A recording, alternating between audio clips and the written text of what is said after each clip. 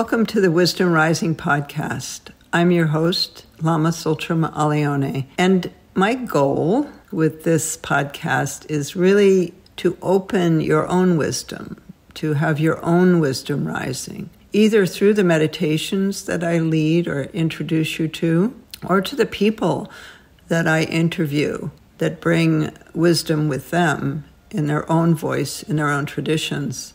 So we look forward to raising our wisdom together on the Wisdom Rising podcast. And I'm so happy to share this with you. Good morning, everyone, and greetings, Elissa. Great to be with you. We met in Costa Rica just about a year ago now, and I led Elissa in Feeding Your Demons, and she was amazed by it, asked me to teach it to others. And so we had a small group there, and then we became very close somehow immediately. And I'm so excited to have you here. And your book, The Telomere Effect, has had such an impact in the world in terms of understanding aging. And now you have stress prescription coming out. So you're a you're a scientist essentially, and you teach at UCSF and research there. Is that right? How you would describe yourself as a scientist? Or? Yeah. I mean, I am, and I like to say a contemplative scientist. I do research and I do some teaching. And one of the lessons I've learned is how rather than wearing a you know, Western research hat that we want to really seek knowledge from different sources. And mm-hmm. so contemplative wisdom and contemplative science have been such gifts that have changed my life and made research so much more meaningful to really be studying, well, interventions, for example, different meditation interventions, and trying to understand the mind through the lens of experience rather than just what we can measure. And as you know, Lama, I'm so excited about Feed Your Demons from a research perspective because you have crystallized and manualized a an experience we can have that is so powerful, changing our embodied emotional state. Mm. And the way you've done it with this, the visual is that if anyone listening has not been led through Feed Your Demons, I know there are opportunities on the Tara Mandala website. Mm-hmm. There is. and the power of using the mind. Well, the the problem that, that we're addressing we all have, which is we we carry trauma, we carry problems that stress us out, even when we're not aware of it. We're not aware of it often because we push it away. It's threatening and we don't want to be it's it's very easy to to try to live with it by distraction and and repression and suppression. And those those work for very short times. They don't work for a lifetime right? They so the ability to visualize and work with emotion and transform it to a constructive force mm-hmm. do with the de- from the demon to the ally is absolutely brilliant. I can't wait to study it. In the book i talk about other ways to transform emotions. They're a bit less concrete, but one of them is using the power of our beliefs. When we feel all of this threat stress, it feels absolutely horrible. We all know what it feels like to feel like we're in a situation that we're going to have, you know, tremendous loss, humiliation, embarrassment, that something we care about deeply is at risk. And so we have this threat response and we need that for short periods to cope. But the problem is that we we tend to carry that around often and that causes more toxic chronic stress on the body. And so when we're in the midst of feeling that threat stress, one thing that we can do is use our ground into beliefs about power, efficacy, resources, support. You know, I list a lot of options and our beliefs can shift and change the stress response. but it's work and effort. We need it's like a mantra. We need to have it ready. We need to recite it and let ourselves believe it. And then in the moment, it can actually change the stress response. And so that's a kind of on, you know, on call in the moment or just in time intervention. Feeding your demons is so different because you could do it once and you could feel a sense of release and peace about the major issue in your life. And I did it, it as you know, that happened for me. And I, it's exciting. It's using our amazing mind body in that way. Yeah. Yeah. And someone in the chat asked if you had done a, a study of feeding your demons, and she hasn't yet. But uh, we hope to do that in the future. And there has been one that's about to be published by Dr. Eve Ekman and Philippe Goldin and this is a study that was done now a couple of years ago, but it's just getting published now. And it's it shows very promising results in terms of how feeding your demons works and that it does work for anxiety, depression, and addiction. Those are the three things that were studied. And so that's going to be really exciting when that study comes out. So this is something that maybe you can talk about because you're kind of in this edge of research versus experience and how getting these studies done has impacted the ability to use things like meditation in settings that maybe before it, it wouldn't have been accepted in. But then there's a study and all of a sudden it's acceptable. And you're really working in that in that world. So I'd love to hear what you've seen and, you know, maybe the last 10 years in terms of that shift. And I'd also like to hear, kind of tagged on to that, but slightly different question. How does this book relate to the telomere effect? Is it is it a natural sort of development? And if so, how do those work together? two big, great, juicy questions. Mm-hmm. I'll take the second one first, which is easier. The telomere effect that I wrote with Nobel laureate Elizabeth Blackburn was a a big book summarizing 15 years of research on understanding how we control our own aging, the ways that we can speed up or slow down our aging. And we particularly focus on telomeres they're a window into our aging process. They're caps at the ends of our chromosomes that are very sensitive to the biochemical conditions. When it gets too stressful, when psychological stress, physiological stress, the telomeres shut down the cell, it dies, or it becomes too old and can't replicate. Because we don't want cancer. We don't want bad things to happen with too much free radicals. We can get DNA mutations and and other problems. So the telomeres, in a way, protect us from cancer and from too much stress damaging the cell by killing the cell or inactivating it. Telomeres get shorter with age, and when they're too short, the cell can't replenish and keep dividing. And so it's a, they're really important to protect. We want to keep them long and stable during our life. And so we review a lot of the lifestyle things like an anti inflammatory or antioxidant stress diet that is good for telomeres. But the big story there, in my view, is that living with stress every day and not ma- not managing it, not realizing that it's a dominant force in our day and it's shaping all of our health behaviors is really related to telomere shortening, trauma, chronic stress, and part of that is that it's shaping both our biochemistry to be more toward aging, but it's also sa- sacking our health behaviors, exercise, poor diet, poor sleep. So it's a it's the one thing if we were to choose one New Year's resolution, our emotional well-being shapes everything. And so just adding something to your day like a mini meditation or there are other other ways to nudge nudge stress to be a a weaker force or non-dominate force and really focus on amplifying joy and ease.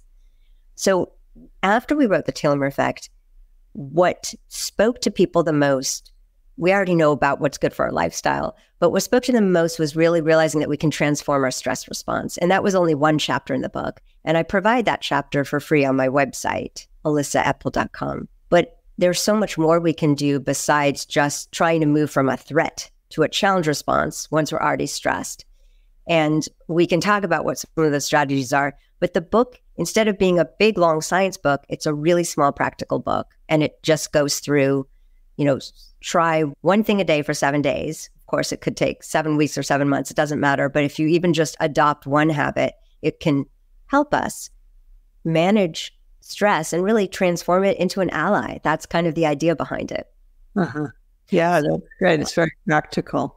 Yeah. So it's kind of a fold out from the cell aging book of, you know, and here are all these things that science have shown. And so many of them are informed by Buddhist wisdom. Mm-hmm. Whole idea of the big idea, the worldview, the mindset of understanding that we don't control outcomes. We control conditions, or we can try to control conditions, but not what really ends up happening. We don't control the externals in our life very much at all. And just realizing that we can do our best and and not be attached to outcomes is a relief. It's stress reducing. And so mm. this focus on even uncertainty, at realizing the future is always 100% uncertain and it always has been. And now we all use that word so much because of the pandemic. We see the uncertainty. That alone is a mindset shift of I can relax around uncertainty. And I've mm. started measuring it in my research because it's so important. And people who can flex, who can tolerate uncertainty, who don't tense up if they don't know what's going to happen tomorrow, they have much less anxiety, PTSD, depression from the pandemic. Mm-hmm.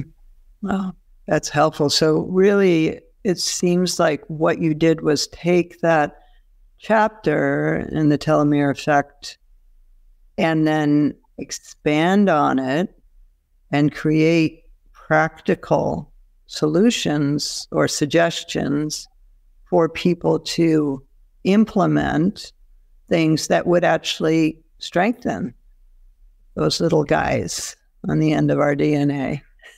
related to telomeres. Yeah. Yeah.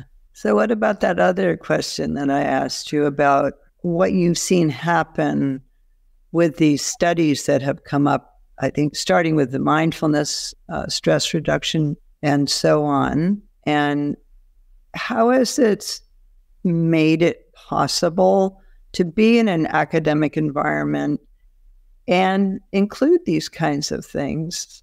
It used to be like you can't talk about that in academia, right? Right. Yes, it's a really great point how important research is.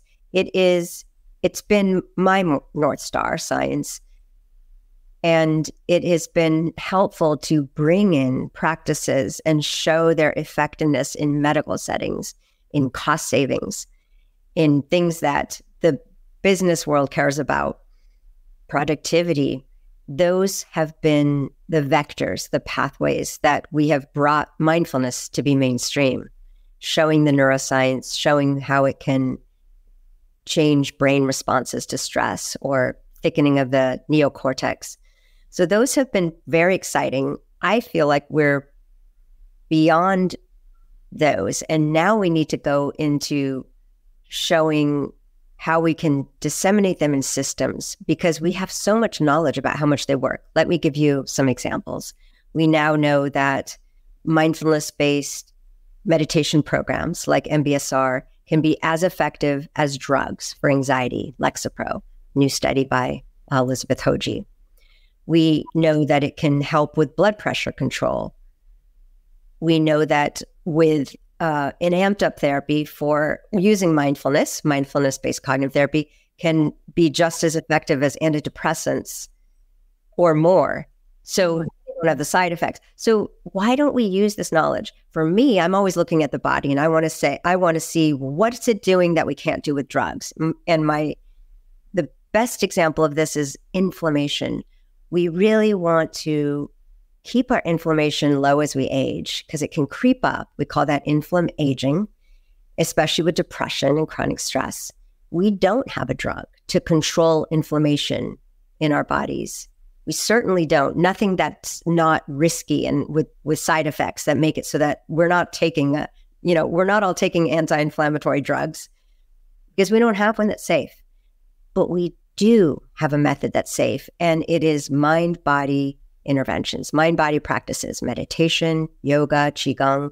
These have been shown over and over in meta analyses to reduce inflammation, to reduce the gene expression for all the inflammatory related genes. That's amazing to me. Why aren't we using that more? yeah. And I think that you have also in, in this upcoming book the relationship with nature as a stress reductor. Can you talk about that a little bit? I'm certainly aware of it in myself, and forest bathing has become a kind of uh, thing recently. But I'm interested in the research around that. What what has been found? That was my absolute funnest chapter to write, and just the amount of research showing the green effect, showing urban greenery or wild nature immersion is affecting our thoughts, our anxiety, perceived stress, and our attention span, our ability to solve problems, how we do on cognitive tasks, and of course, our stress regulation system. So blood pressure goes down. And, and like you said, it's been medicalized. So, like in New Zealand, they write green prescriptions. If you have high blood pressure, go out in nature three times a week, 45 minutes, and just walk slowly. And that can reduce your blood pressure. Wow. So, you know, it's been, and of course, that is a way to get it to be commonly used. And the, the rural urban effect is huge. So, like birds and honeybees that live in the city versus the country are so much more stressed out. They have shorter telomeres, more oxidative stress. And us too. you know, it's like, mm-hmm. it's not um, rocket science to understand that our minds are taxed.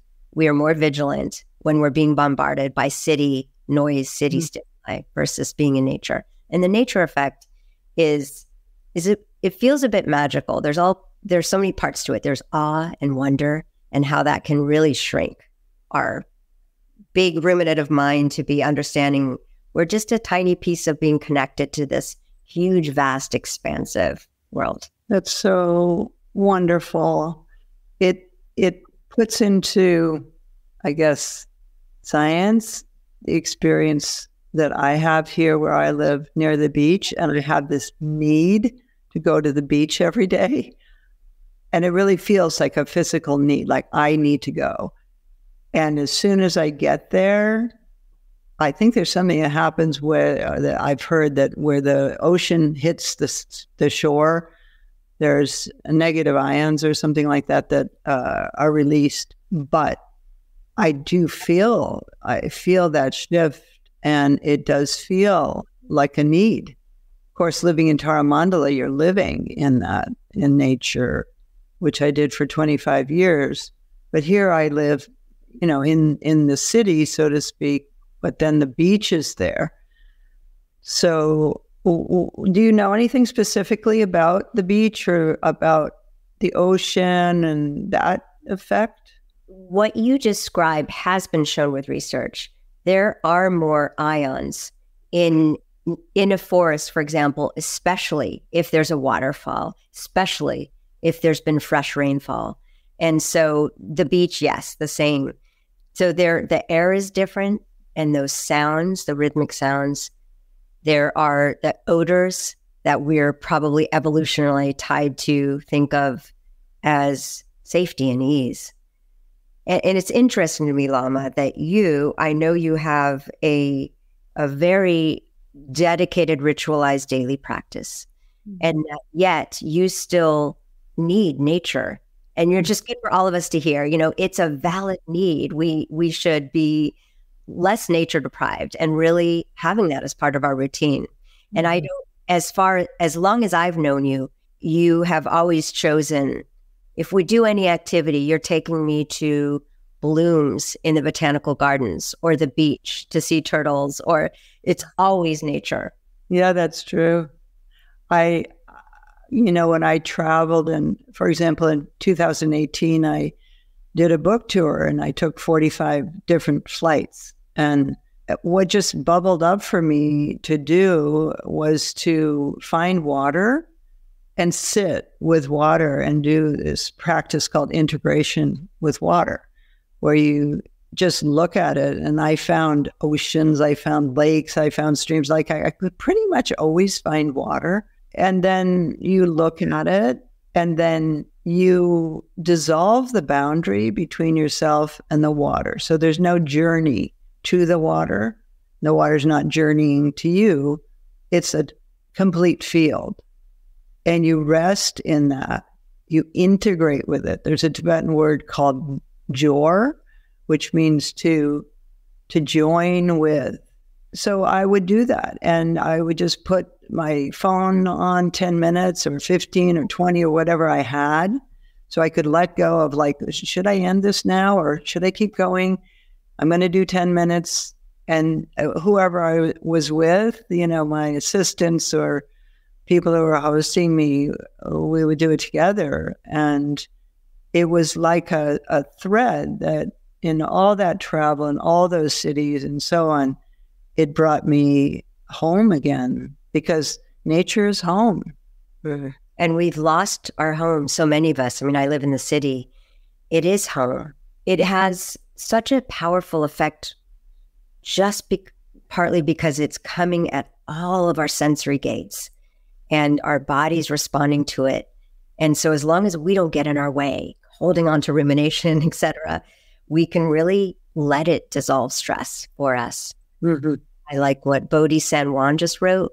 Find yeah. sit with water, dissolve, and rest. Yeah, that's a really simple way of explaining what I just talked about integration. A lot of the people listening today are in cities.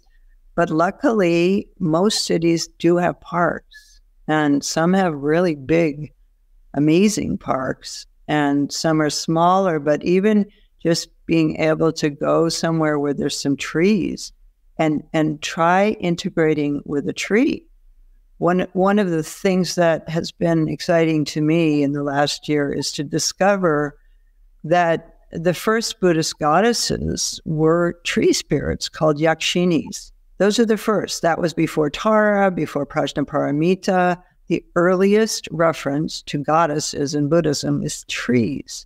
And the Bodhi tree that the Buddha was enlightened under, some scholars feel this was actually a Yakshini shrine. And so to find a tree and to connect to the spirit of the tree could be just a little tree on the road. You know, it, it doesn't matter. But when you jor, you join with that tree, there's something that happens inside. And so I think even if, if people are in cities and far from oceans or maybe not near any body of water that they could meditate with, there's always something that you can find that would bring you home in that way. And if not, you know, you, you can have a house plant. Those also bring a lot into into your home. So this is wonderful, Elissa. And I love how practical this new book is. And I think it's a great combination. Uh, the telomere effect, which was a New York Times bestseller and really has had an impact in the world and then this one of sort of like, okay, now let's take that piece of like, how do we do this out? And here's some very practical ways you can do it. And I'm so excited. It's it's coming out the 27th of December. So I imagine in terms of all your stresses and so on, it's all getting ready for the book launch. Um, and we can also pre-order it already. I looked at Amazon and saw that you could, so that's exciting too. And you're actually right now reading it for Audible, right? So yes, it, I, I am. Thank you, thank you for your support. It's it's fun to read because I've been trying to practice what I preach and be present for the words and feel things. Yeah. And so, and and that's how I feel when I'm with you, Lama you are feeling things and sharing them so that when I haven't noticed the yakshinis and dakinis, but when you point them out and you're touching leaves and you're hugging trees it just opens up the, or it gets rid of the barriers so that for me and people around you, I have seen them, I have felt them, I have had my own sensory gates opened, and we can do that for each other. I, you know, I just love being with you, and you do that for me, and I'm so grateful. Yeah, and and thank you so much for today. I'm in gratitude right now for you and for our friendship and deep connection. And thank you. Lots of love, everyone. And thank you, Elissa. Thank you so much. Such an honor to be here. Thank you. Thank you, everyone, for being with us for this Wisdom Rising podcast. May it benefit all beings.